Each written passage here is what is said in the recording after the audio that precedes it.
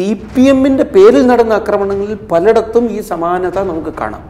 മുഖം വികൃതമാക്കൽ കഴുത്തുവെട്ടി മാറ്റൽ അതിന്റെ പരിശീലനത്തിന്റെ ഭാഗമായിട്ട് പട്ടികളെ നായ്ക്കളെ വെട്ടി കൊല്ലുക. സത്യത്തിൽ ഈ സ്വാതന്ത്ര്യത്തിന്റെ കാരണക്കാരായിട്ടുള്ള എല്ലാ മഹാത്മാക്കളെയും ഒരുപോലെ ആദരിച്ചിട്ടുണ്ടോ ഭാരതം ഇതുവരെ?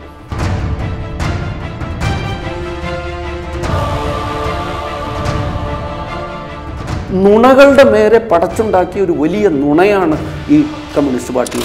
ഇസ്ലാമിക ഭീകരവാദത്തിന്റെ പങ്ക് even terror money was involve in all those political killing especially when R S S L B J P C P എമ്മിനെ ഒരു മുഖം കൂടി ആക്കിക്കൊണ്ട് ഹിന്ദുക്കളെ ഇല്ലാതാക്കാനുള്ള അല്ലെങ്കിൽ ഹിന്ദുക്കളുടെ ഒരു സുരക്ഷാ കവചം എന്നുള്ള നിലയ്ക്ക് നിൽക്കുന്ന ആർ എസ് എസിനെ ഇല്ലാതാക്കുന്നതിൽ നിന്ന് സി പി എം പിൻവാങ്ങുന്നു എന്ന് തോന്നിയപ്പോഴാണ് പ്രത്യക്ഷമായ നടപടിയിലേക്ക് പി എഫ് തന്നെ കടന്നിരിക്കുന്നതെന്നാണ് ഞാനിതിന് വിലയിരുത്തുന്നത് R S S B J P related ആയിട്ടുള്ള ആൾ എല്ലാത്തിനെയും ഒരു വിധത്തിൽ പറഞ്ഞാൽ ഒരു അതൊരു അശ്ലീല പദമാണെന്നുള്ള നിലയിലേക്ക് ജനങ്ങളിലേക്ക് കൊണ്ടുപോകാൻ ശ്രമം നടന്നു. ഹിന്ദു നാമധേയങ്ങളോ ഹിന്ദു ആചാരങ്ങളോ ഒക്കെ ഒരു ദൂരെ അകറ്റപ്പെടേണ്ട തൊട്ടുകൂടായ്മയ്ക്ക് വിധേയമാക്കേണ്ട അയിത്തം കൽപ്പിക്കേണ്ടെന്ന് ഒന്നാക്കി മാറ്റുകയാണ് ഇപ്പോൾ ഈ പുതിയ കാലത്തിന്റെ സവർണ മേലാളന്മാർ that is communist party communist party itself is an anti national party take it from me it is to be banned right at this moment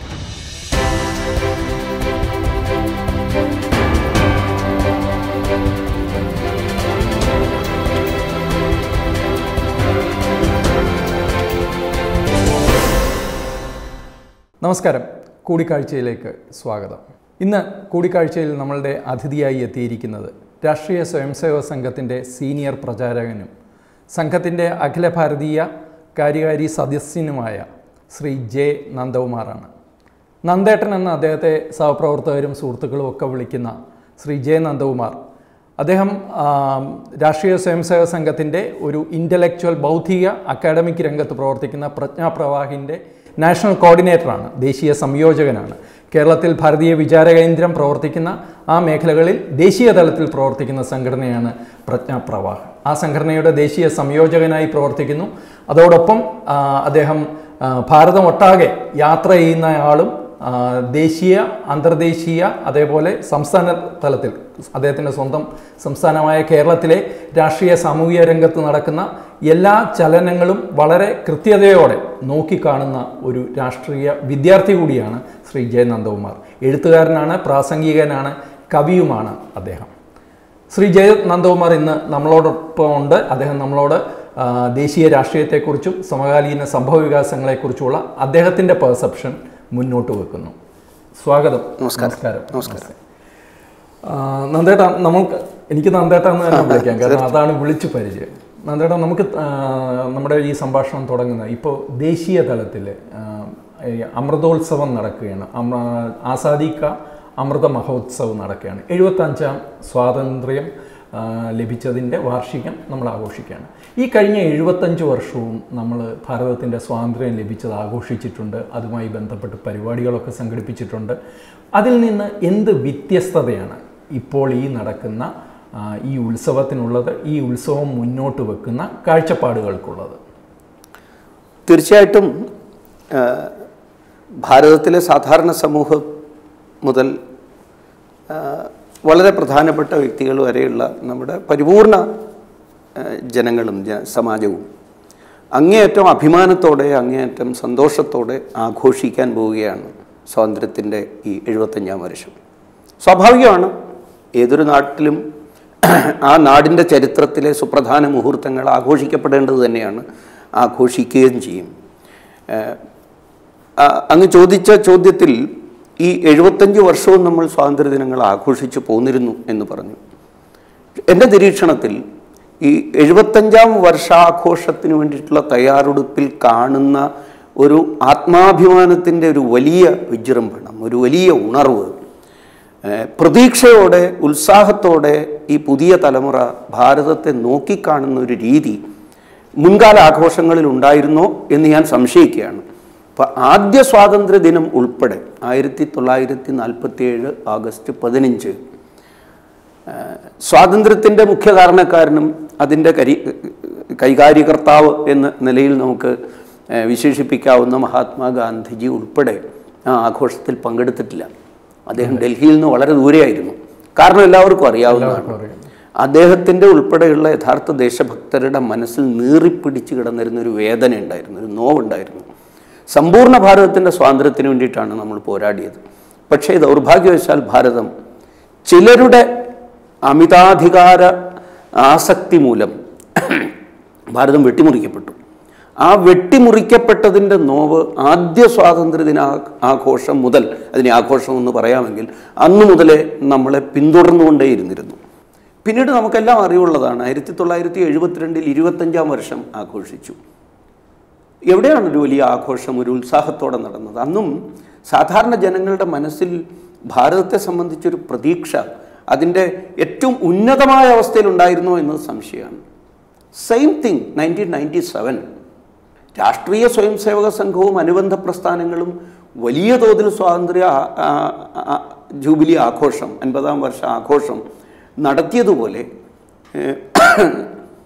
ഒരു തരത്തിൽ പറഞ്ഞ സുവർണ ജയന്തി സമീക്ഷാ സമിതി പോലുള്ള ബോഡികൾ ഉണ്ടാക്കിക്കൊണ്ട് സംഘവും മറ്റും ആഘോഷിച്ചതുപോലെ സർക്കാരോ സർക്കാരുമായി ബന്ധപ്പെട്ട സംഘടനകളോ നടത്തിയിരുന്നില്ല. പക്ഷെ സ്ഥിതി ഇത് മാറി. അങ്ങയുടെ ചോദ്യം വളരെ കറക്റ്റാണ് എഴുപത്തഞ്ചാം വർഷത്തിലേക്ക് എത്തുമ്പോൾ സാധാരണ ജനങ്ങളുടെ മനസ്സിൽ ഭാരതം നേരിടുന്ന സർവ പ്രശ്നങ്ങളും പരിഹരിക്കപ്പെടുന്നു എന്നൊരു തോന്നലുണ്ടാവുകയാണ് നാളിതുവരെ നമ്മെ വേട്ടയാടിക്കൊണ്ടിരുന്ന പല വിഷയങ്ങൾ വിഭജനം ഉൾപ്പെടെയുള്ള പ്രശ്നങ്ങൾക്ക് പരിഹാരം ഇന്നല്ലെങ്കിൽ നാളെ ഉണ്ടാകുമെന്ന തോന്നലിലേക്ക് സമൂഹം മാറുന്നു. അത് നമുക്കിന്നൊരു വലിയ പോസിറ്റീവായിട്ടുള്ളൊരു വലിയ വ്യതിയാനമായി കാണാം. അതിന് ഇപ്പോൾ ഏഴു വർഷമായി തുടർന്നു പോരുന്ന ഒരു കേന്ദ്ര ഗവൺമെന്റിന്റെ ഭരണവും ജനങ്ങളിലേക്ക് പകർന്നു കൊടുക്കുന്ന ആത്മവിശ്വാസത്തിന്റെ ഒരു അന്തരീക്ഷവും ഒക്കെ ഒരു കാരണമാകാം. പക്ഷേ അതിനോടൊപ്പം തന്നെ ജനങ്ങളുടെ മനസ്സിൽ ഈ പ്രതീക്ഷ വളരാൻ എന്താ കാരണം? ആ പ്രതീക്ഷ വളരാനുള്ള കാരണം നാളിതുവരെ സ്വപ്നമായി അവശേഷിച്ചിരുന്ന പലതും സാധ്യമാകുന്നു അവരുടെ മുമ്പിൽ. സത്യമാകുന്നു എന്ന് കാണുന്നു. ഇപ്പോൾ സ്വാതന്ത്ര്യം കിട്ടി ഏറെ കഴിയുന്നതിന് മുമ്പ് സോമനാഥ ക്ഷേത്രം പുനരുദ്ധരിക്കപ്പെട്ടപ്പോൾ ജനങ്ങൾ സ്വാഭാവികമായിട്ട് പ്രതീക്ഷിച്ചു അയോധ്യയിലും കാശിയിലും ഒക്കെ ഈ മാറ്റം ഉണ്ടാകുമെന്ന്. കുറച്ച് കഴിഞ്ഞപ്പോൾ അവരുടെ നിര സാധാരണ ജനങ്ങളുടെ മനസ്സിൽ ആ പ്രതീക്ഷ കെട്ടു. പക്ഷേ ഇപ്പോൾ അവർ മനസ്സിലാക്കുന്നത് സാധ്യമാണ് എന്ന്. സ്വാതന്ത്ര്യം കിട്ടിയപ്പോൾ അന്നത്തെ ഒരു അനിവാര്യത എന്ന നിലയ്ക്ക് ജമ്മു കാശ്മീരിന് ഒരു പ്രത്യേക അധികാരം കൊടുത്തത് ഒരു ഒരു അനിവാര്യതയായിട്ട് മാത്രം കണക്കാക്കി. എന്നാലും ഭീംറാവ് റാംജി അംബേദ്കറൊക്കെ തന്ന ഉറപ്പ് പോലെ ഇത് നാളെ കൊഴിഞ്ഞു പോകും എന്നവർ വിചാരിച്ചു ഈ മുന്നൂറ്റി സംഭവം. തീർച്ചയായിട്ടും. പക്ഷേ നടന്നില്ല. ഈ പ്രതീക്ഷ വളരുന്നതിന്റെ കാരണമായി ഞാൻ ചൂണ്ടിക്കാണിക്കുന്നത് ഈ കഴിഞ്ഞ നാളുകളിൽ അതൊക്കെ സാധ്യമാവുകയാണ്.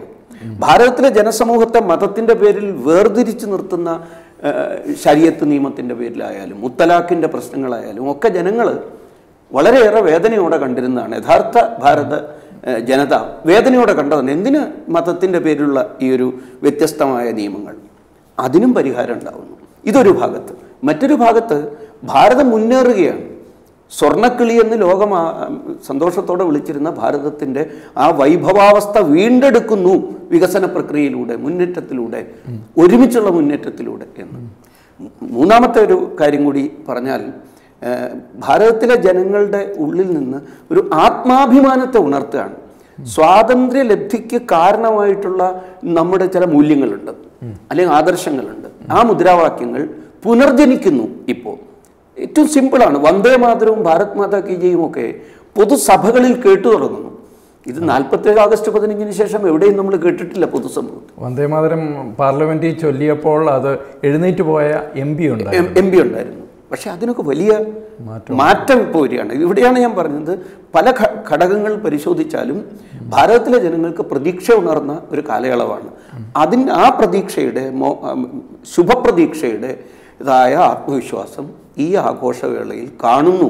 പ്രത്യേകിച്ച് ഈ മഹാമാരിയുടെ കാലഘട്ടമായിട്ട് പോലും ഞാൻ എന്റെ യാത്രക്കിടയിൽ ഈ ആവശ്യമായിട്ട് കഴിഞ്ഞ ഒന്നര വർഷത്തിനുള്ളിൽ മൂന്ന് തവണ ഭാരത പ്രദക്ഷിണം നടത്തി ഞാൻ പലവരും കാശി വിശ്വവിദ്യാലയത്തിലും ഉജ്ജയിൻ വിക്രം വിശ്വവിദ്യാലയത്തിൽ ഉൾപ്പെടെയുള്ള അഹമ്മദാബാദിലും ജമ്മു കാശ്മീരിലും ഒക്കെ യാത്ര നടത്തി. അവിടെയൊക്കെ ഞാൻ കാണുന്നത് ഈ മഹാമാരിയുടെ വിപത്ത് തലയ്ക്ക് മേലെ ഒരു വലിയ ആപത്തിന്റെ ഒരു ഒരു വാളുപോലെ തൂങ്ങി നിൽക്കുന്നുണ്ടെങ്കിലും ജനങ്ങൾ ഉത്സാഹത്തിലാണ്.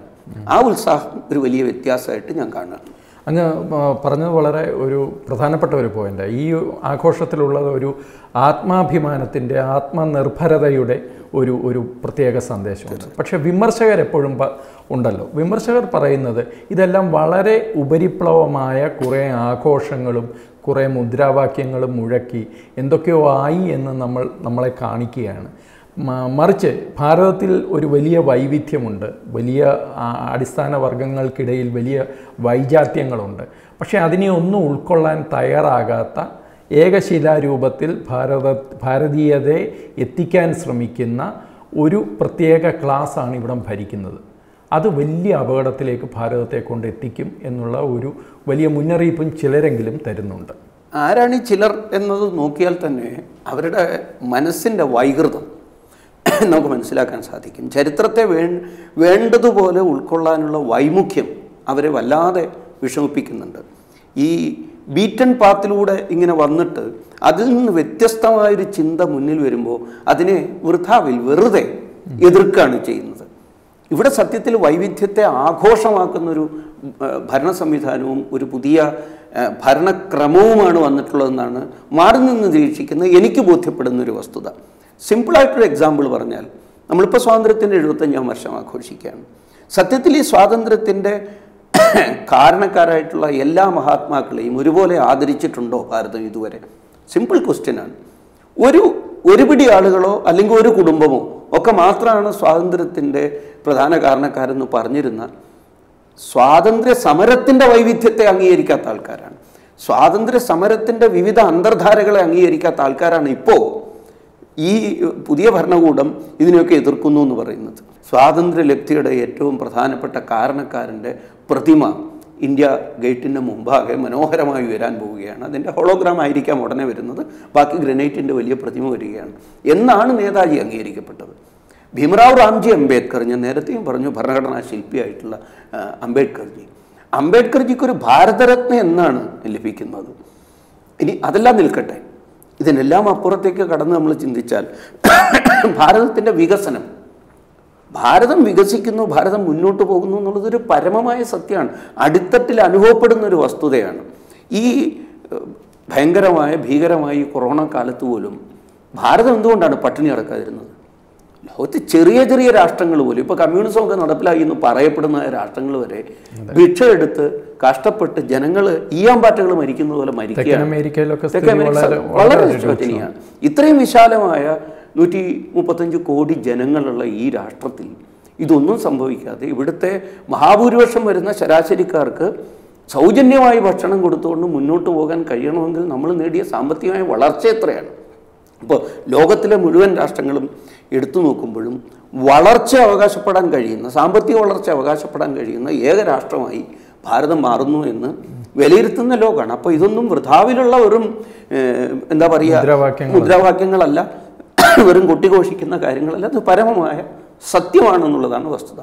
ഇനി വിക ഞാൻ വികസനവുമായി ബന്ധപ്പെടുത്തി തന്നെ നേരത്തെ സൂചിപ്പിച്ച ഈ മാറ്റി നിർത്തപ്പെടുന്നതോ ഓരങ്ങളിലേക്ക് മാറ്റപ്പെടുന്നതുമായ സമൂഹത്തിന് കിട്ടുന്ന അംഗീകാരത്തെക്കുറിച്ച് നോക്കും. ഇപ്പം ഭൂമിശാസ്ത്രപരമായി നോക്കിയാൽ തന്നെ നോർത്ത് ഈസ്റ്റ്. നോർത്ത് ഈസ്റ്റ് നമ്മുടെ പരിഗണനയിൽ എവിടെങ്കിലും ഉണ്ടായിരുന്നോ?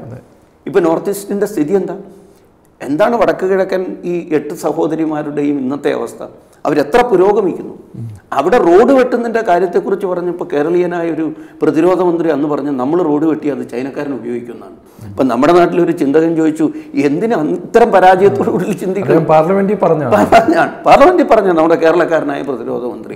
ഒരു ഒരു പട്ടാളക്കാരുടെ മാർച്ച് കണ്ട് വെയിലടിച്ചിട്ട് തലകറങ്ങി വീണ ആ. മനുഷ്യൻ പ്രതിരോധ മന്ത്രി പറഞ്ഞു നമ്മൾ റോഡ് വെട്ടിയാൽ അത് ചൈന ചിലപ്പോൾ ഉപയോഗിച്ച് കളയും ചൈനക്കാരൻ വെട്ടിവെച്ചിരിക്കുന്ന റോഡ് ഉപയോഗിച്ച് ഞാൻ ബീജിങ്ങിലേക്ക് പോകുമെന്ന് പറയേണ്ട പ്രതിരോധ മന്ത്രിയാണ്. നമ്മൾ റോഡ് വെട്ടിയാൽ അവരത് വഴി ഡൽഹിയിലേക്ക് അത് തന്നെയാണ് ഇതിനകത്തെ ഒരു വലിയ പ്രശ്നം. അതായത് ഞാൻ ചോദിക്കുന്നത് ഇപ്പോൾ ഇതെല്ലാം നടക്കുന്നതിന്റെ ഒരു പ്രധാന ഉദ്ദേശം ഒരു പക്ഷേ നമ്മളുടെ ഉള്ളിൽ മനഃപൂർവം സൃഷ്ടിക്കപ്പെട്ട അപകർഷതാബോധത്തിൽ ഊന്നിയുള്ള ഒരു ചരിത്ര നിർമ്മിതിയുണ്ട്. അത് മാറ്റാനുള്ള ഒരു കോൺഷ്യസായ പ്രവർത്തനമാണോ ഈ നടക്കുന്നത്? തീർച്ചയായിട്ടും ആണല്ലോ. അങ്ങനെയാണ്. ഇപ്പോൾ ഈ ഒരു അപ തികച്ചും കൃത്യമായ നിരീക്ഷണമാണ്. ഈ അപകർഷതാബോധം നമ്മുടെ നാട്ടിൽ നമുക്ക് സൃഷ്ടിക്കപ്പെട്ട് തന്ന സൃഷ്ടിച്ച് തന്നിട്ടുള്ള ചരിത്ര പുസ്തകങ്ങളിൽ നിന്നും ചരിത്ര പാഠങ്ങളിൽ നിന്നും ഉണ്ടായിട്ടുള്ളത് അത് കൃത്രിമമായി നിർമ്മിക്കപ്പെട്ടിട്ടുള്ളതാണ്. കൃത്രിമമായി നിർമ്മിക്കപ്പെട്ടിട്ടുള്ള ഒരു ബോധം നമ്മൾ ഭരിക്കുകയായിരുന്നു.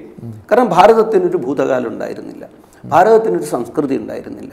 ഇതൊക്കെയും നമുക്ക് കിട്ടിയത് പുരോഗമന ചിന്ത നമുക്ക് കിട്ടിയത് വികസനത്തെക്കുറിച്ചുള്ള പാഠങ്ങൾ നമ്മൾ ഉൾക്കൊണ്ടത് ഈ പാശ്ചാത്യ കൊളോണിയലിസ്റ്റുകൾ ഇവിടെ വന്നതിന് ശേഷമാണ് എന്ന് വിശ്വസിക്കത്തക്ക വിധത്തിലേക്ക് നമ്മുടെ മനോനില താർന്നു പോയിരുന്നു. അതായിരുന്നു നമ്മുടെ ചരിത്ര. ആരൊക്കെയാണോ ആത്മവിശ്വാസം ഉയർത്താൻ ശ്രമിച്ച ചരിത്രകാരന്മാർ അവരുടെ ചരിത്ര പുസ്തകങ്ങളെയൊക്കെ നിഷ്കരണം നിരാകരിക്കുകയും ചെയ്തു. ഇപ്പൊ ജദുനാഥ് സർക്കാർ അദ്ദേഹത്തിന്റെ ചരിത്ര പുസ്തകങ്ങൾ ഒന്നുപോലും നമുക്ക് ഇന്ന് പാഠപുസ്തകങ്ങളായിട്ട് ലഭിക്കുന്നില്ല. കാരണം എന്താ? അതേ മിഡിവിൽ ഹിസ്റ്ററി സത്യത്തിൽ എന്താണെന്ന് പറഞ്ഞു നമ്മുടെ അടുത്ത് ഔറംഗസേബ് ചെയ്തിട്ടുള്ള ക്രൂരമായ കൃത്യങ്ങൾ എന്താ എന്ന് അദ്ദേഹം നമ്മളെ പഠിപ്പിച്ചു തന്നു. ചരിത്രം ഉദ്ധരിച്ചുകൊണ്ട് തന്നെ. ആർ സി മജുന്ദാർ ഭാരതീയ ചരിത്ര രചനാ മേഖലയിൽ അദ്ദേഹത്തോളം എത്തിച്ചേർന്ന അദ്ദേഹത്തോളം മഹാനായ ഒരു ചരിത്രകാരനില്ല.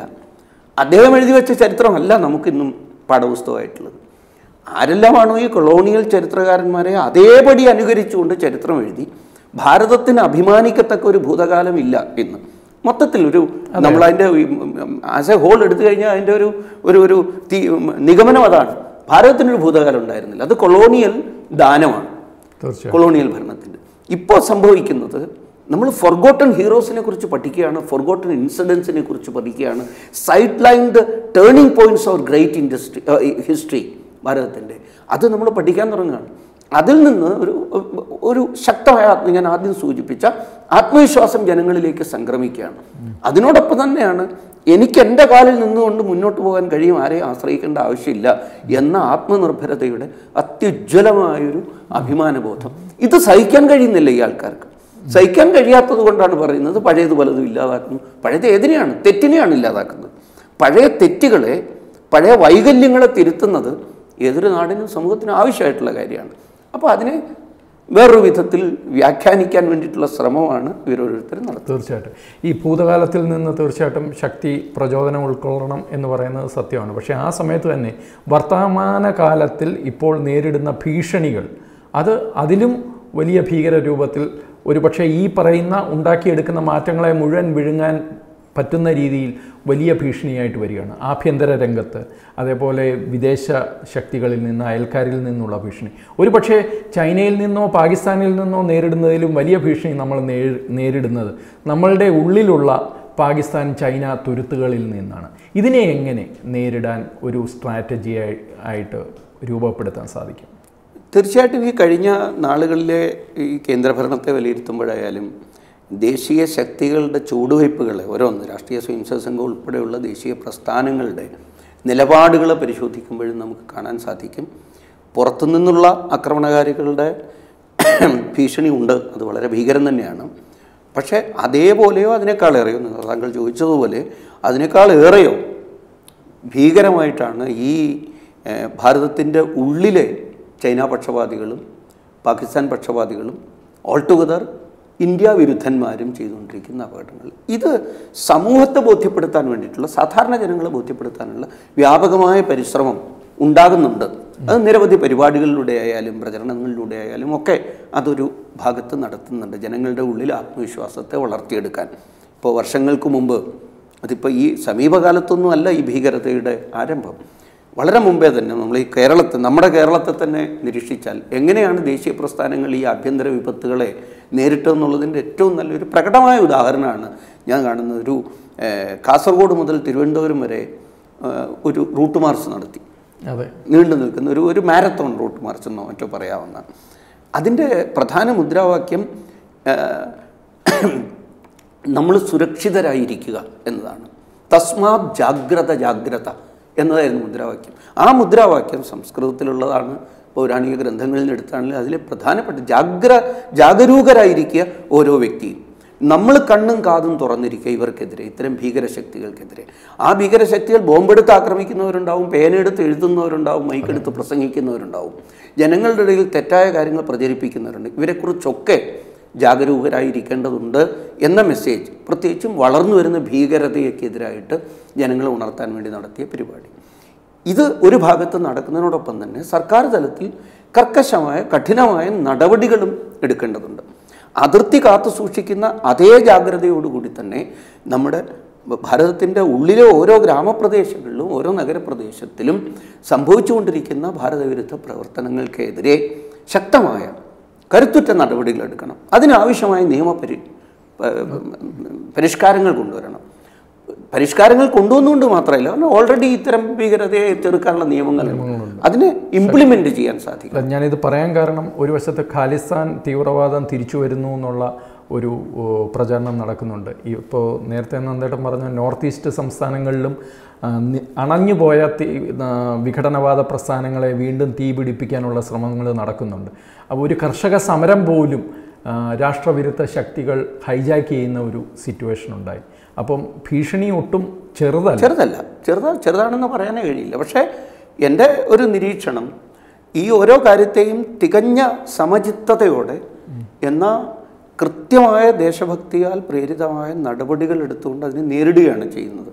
ഇപ്പോൾ ഈ കർഷക സമരത്തിന്റെ കാര്യം തന്നെ പറഞ്ഞാൽ അത് സത്യത്തിൽ തെറ്റിദ്ധരിക്കപ്പെട്ട ഒരു വിഭാഗം ആളുകൾ ബോധപൂർവം ഭാരത വിരുദ്ധ ശക്തികളിൽ നിന്ന് പ്രേരണ ഉൾക്കൊണ്ടുകൊണ്ട് നടത്തിയൊരു സമരമാണ്. പക്ഷേ അതിനൊരു ഒരു ഘട്ടം കഴിയുമ്പോഴേക്കും ഒരു പ്രദേശത്തെ മുഴുവൻ കുറച്ച് പേര് നിയമം ലംഘിക്കാൻ വേണ്ടിയിട്ട് പുറപ്പെട്ടെത്തിക്കഴിഞ്ഞാൽ വേറെ വേറെ നിവർത്തിയില്ല. അപ്പൊ അതുകൊണ്ട് ഒരു ഞാൻ കാണുന്നത് ഒരു സ്ട്രാറ്റജിക് ആയിട്ടുള്ള ഒരു പിന്മാറ്റത്തിലൂടെ തൽക്കാലത്തേക്ക് ആ സ്ഥിതിഗതികളെ ശാന്തമാക്കുകയും അവരുടെ ഇടയിൽ വേരൂന്നാൻ ഇടയുണ്ടായിരുന്ന ഈ ഖാലിസ്ഥാൻ വാദം പോലുള്ള വിഘടന പ്രസ്ഥാനത്തിന്റെ മൊനയൊടിക്കുകയാണ് ചെയ്തത് സത്യത്തിൽ. ഇത് തിരിച്ചടിയല്ല എന്ന അല്ല ഒരു ഒരിക്കലും ഒരു തിരിച്ചടിയായിട്ട് ഞാൻ കാണുന്നില്ല. തിരിച്ചടി അല്ല എന്നുള്ളത് ഇപ്പോൾ ഈ സമീപകാലത്ത് ഇപ്പോൾ ഈ വരാൻ പോകുന്ന ഈ അഞ്ച് സംസ്ഥാനങ്ങളിലെ തെരഞ്ഞെടുപ്പിന് മുന്നോടിയായി നടന്ന പല സർവേകളിലും പഞ്ചാബ് ഉൾപ്പെടെയുള്ള സംസ്ഥാനങ്ങളിൽ കർഷക സമരം ഒരു ഇഷ്യൂ അല്ല എന്നാണ്. കർഷക സമരമല്ല അവിടുത്തെ പ്രധാന ഒരു ഇഷ്യൂ എന്ന് ഞാൻ പറയുന്നത് തീർത്തു ഇഷ്യൂ അല്ല എന്നല്ല പക്ഷേ പ്രധാന ഇഷ്യൂ അല്ല എന്നാണ്. പക്ഷെ നമ്മൾ കേരളത്തിലൊക്കെ ഈ ചില മാധ്യമങ്ങളൊക്കെ പ്രചരിപ്പിക്കുന്ന അത് ഏറ്റവും വലിയ ഇഷ്യൂ ആണ്. അങ്ങനെയല്ല. അപ്പോൾ അതുകൊണ്ട് അത് ഒരിക്കലും ഒരു തിരിച്ചടിയല്ല. ഉത്തരവാദിത്തപ്പെട്ട ഒരു ഗവൺമെന്റ് ആ ഗവൺമെന്റ് എന്നും പറഞ്ഞിട്ടുള്ളത് ഇപ്പോൾ രണ്ട് സമരങ്ങളെ താരതമ്യം ചെയ്ത് ഈ അടുത്ത കാലത്ത് ചിലരൊക്കെ പറയാൻ സമരമല്ല കേരയിൽ സമരത്തെയും കർഷക സമരത്തെയും കോൺഗ്രസ്സുകാർ വ്യാഖ്യാനിക്കാൻ ശ്രമിച്ച രണ്ടും ഒരുപോലെയാണെന്നാണ്. ഇവിടെ നിങ്ങൾ ആരെതിർത്താലും ഞാൻ നടപ്പിലാക്കുമെന്നാണ് പറയുന്നത്. മറ്റിടത്ത് അങ്ങനെയല്ലേ? ആ ഒരു പിന്മാറ്റം എന്നതിനേക്കാൾ ഉപരി അതിവിടുത്തെ ജനങ്ങളെ മുഴുവൻ ഉൾക്കൊണ്ടുകൊണ്ടാണ് കേന്ദ്രഭരണത്തെ സംബന്ധിച്ചിടത്തോളം സമരം ചെയ്യുന്ന കർഷകർ ഉൾപ്പെടെയാണ് അവരുടെ പൗരന്മാർ അവർ ബി ജെ പിക്കാരെ മാത്രമല്ല തങ്ങളുടെ പൗരന്മാരായി കാണുന്നത്. അപ്പോൾ എല്ലാ പൗരന്മാരെയും വിശ്വാസത്തിലെടുത്തുകൊണ്ട് ഭരണം മുന്നോട്ട് കൊണ്ടുപോകണം. തൽക്കാലത്തേക്ക് ഈ പറഞ്ഞ വസ്തുത ബോധ്യപ്പെടുന്നില്ല എന്നുണ്ടെങ്കിൽ ഒരു പിന്മാറ്റം. പക്ഷേ ഇങ്ങനെയുള്ള ഓരോ നീക്കങ്ങൾക്കും ശക്തമായ പ്രതിരോധം അല്ലെങ്കിൽ പ്രതിഷേധം സൃഷ്ടിക്കാനാണ് പ്രതിപക്ഷം ശ്രമിക്കുന്നത്. പ്രതിപക്ഷം മാത്രമല്ല അതിലൊരു വലിയ വിഭാഗം മാധ്യമങ്ങളുണ്ട് എഴുത്തുകാരുണ്ട് ഇന്റലക്ച്വൽസ് എന്ന് പറയുന്നവരുണ്ട്. ലൂറ്റൻസ് ഡൽഹിയിലെ താമസക്കാരായ എന്താ പറയുന്നത് ഭദ്രലോകുണ്ട് അപ്പോൾ ഇവരെല്ലാം പക്ഷേ ഇതിനെല്ലാം ഇവരെല്ലാം പറയുന്നത് ഇതൊരു ഫാസിസ്റ്റ് ഗവൺമെന്റാണ് ഈ ഗവൺമെന്റ് നടത്തുന്ന ഈ നീക്കങ്ങളുടെ എല്ലാം പിന്നിൽ ഒരു ഗൂഢ ഉദ്ദേശമുണ്ട് എന്നാണ്. മറുവശത്ത് സർക്കാർ C A N R C പോലെയുള്ള കാര്യങ്ങൾ കൊണ്ടുവരുന്നു. ഐക്യരാഷ്ട്രസഭയിൽ പോലും അവരുടെ ഭരണമാ ഭരണത്തിന്റെ ആ ഒരു നയതന്ത്ര രംഗത്ത് ഉണ്ടാക്കിയ കാതലായ മാറ്റം കൃത്യമായി പ്രതിഫലിപ്പിക്കുന്ന നിലപാടുകൾ എടുക്കുകയും ചെയ്യുന്നു. ഇപ്പം ഈ ഫാസിസം എന്ന് പറഞ്ഞാൽ വാക്കിന്റെ അർത്ഥം എന്താണെന്നുള്ളത് കൂടെ വിശദീകരിക്കേണ്ട ആവശ്യമാണ്. ഇപ്പോൾ ഒരു വിഭാഗം ആൾക്കാർ എതിർക്കുന്നു അതൊരു വലിയ ഏറ്റുമുട്ടലിലേക്ക് മുന്നോട്ട് കൊണ്ടുപോകാൻ ആഗ്രഹിക്കുന്നു. പ്രത്യേകിച്ചും ഭാരതം ആഭ്യന്തരവും ബാഹ്യവുമായ ഒട്ടേറെ ഭീഷണികളെ നേരിട്ടുകൊണ്ടിരിക്കുന്ന സമയത്ത് അത്തരം ഒരു അന്തരീക്ഷം ഭാരതത്തിനുള്ളിൽ വരുന്നത് നല്ലതല്ല എന്ന് തീരുമാനിച്ച് ഇത്രയേറെ പണച്ചെലവ് ചെയ്ത് നടപ്പിലാക്കാൻ ശ്രമിച്ച ഒരു തീരുമാനത്തെ പിന്നോട്ട് ജനങ്ങൾക്ക് വേണ്ടി തൽക്കാലത്തേക്ക് വേണ്ട എന്ന് വെക്കുന്നതാണോ ഫാഷിസം അതോ എന്ത് സംഭവിച്ചാലും ഞങ്ങൾ നടപ്പിലാക്കി ഞങ്ങൾ എതിർക്കാൻ നോക്കണ്ട എന്ന് പറയുന്ന ഇടതുപക്ഷ ഗവൺമെന്റിന്റെ ഈ സോ കോൾഡ് ലിബറൽ സെക്യുലർ കാരുടെ കണ്ണിൽ കണ്ണിലുണ്ണിയായിട്ടുള്ള കേരള മുഖ്യമന്ത്രി പറയുന്നതാണോ ഫാഷിസം ഏതാണ് ഇതിനകത്ത് ഫാഷിസം അപ്പോൾ അത് വളരെ വ്യക്തമാണ്. രണ്ടാമത്തത് സി എ സി എ ആയാലും അതേപോലെ മുത്തലാഖ് വിഷയത്തിലായാലും കാശ്മീർ വിഷയത്തിലായാലും ഇതിലൊക്കെ ഈ നാടിന് വേണ്ട കാര്യമാണ് ഈ നാട്ടിന്റെ നിലനിൽപ്പിന് ആവശ്യമായിട്ടുള്ള കാര്യങ്ങളാണ് നടപ്പിലാക്കപ്പെട്ടിരിക്കുന്നത്.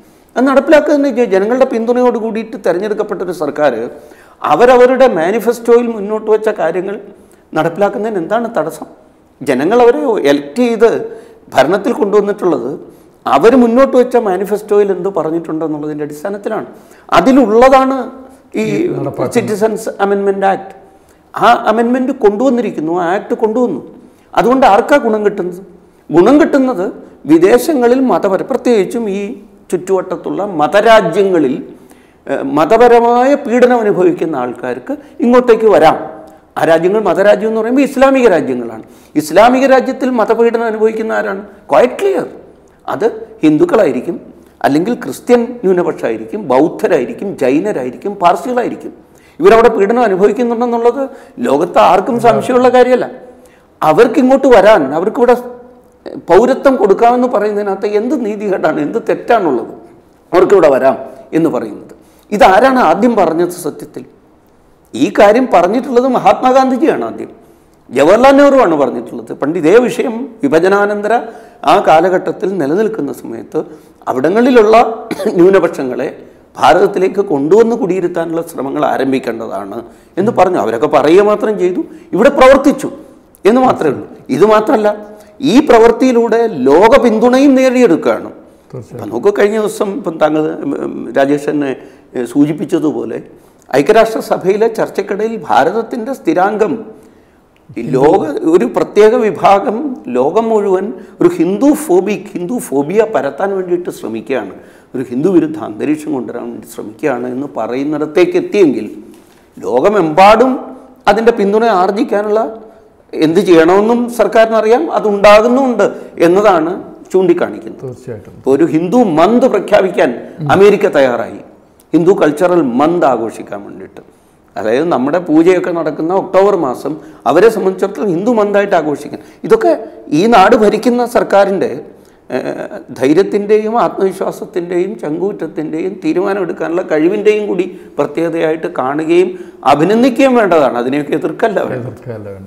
R S S B J P related ആയിട്ടുള്ള ആൾ എല്ലാത്തിനെയും ഒരു വിധത്തിൽ പറഞ്ഞാൽ ഒരു അതൊരു അശ്ലീല പദമാണെന്നുള്ള നിലയിലേക്ക് ജനങ്ങളിലേക്ക് കൊണ്ടുപോകാൻ ശ്രമം നടത്തുന്നു. സി പി എമ്മിനെ ഒരു മുഖംമൂടി ആക്കിക്കൊണ്ട് ഹിന്ദുക്കളെ ഇല്ലാതാക്കാനുള്ള അല്ലെങ്കിൽ ഹിന്ദുക്കളുടെ ഒരു സുരക്ഷാ കവചം എന്നുള്ള നിലയ്ക്ക് നിൽക്കുന്ന ആർ എസ് എസിനെ ഇല്ലാതാക്കുന്നതിൽ നിന്ന് സി പി എം പിൻവാങ്ങുന്നു എന്ന് തോന്നിയപ്പോഴാണ് പ്രത്യക്ഷമായ നടപടിയിലേക്ക് പി എഫ് തന്നെ കടന്നിരിക്കുന്നതെന്നാണ് ഞാനിതിന് വിലയിരുത്തുന്നത്. ഹിന്ദു നാമധേയങ്ങളോ ഹിന്ദു ആചാരങ്ങളോ ഒക്കെ ഒരു ദൂരെ അകറ്റപ്പെടേണ്ട തൊട്ടുകൂടായ്മയ്ക്ക് വിധേയമാക്കേണ്ട അയിത്തം കൽപ്പിക്കേണ്ടെന്ന് ഒന്നാക്കി മാറ്റുകയാണ് ഇപ്പോൾ ഈ പുതിയ കാലത്തിന്റെ സവർണ മേലാളെന്ന് that is communist party communist party itself is an anti national party take it from it is to be banned right in this moment നുണകളുടെ മേരെ പടച്ചുണ്ടാക്കിയ ഒരു വലിയ നുണയാണ് ഈ കമ്മ്യൂണിസ്റ്റ് പാർട്ടി എന്ന് പറയുന്നത്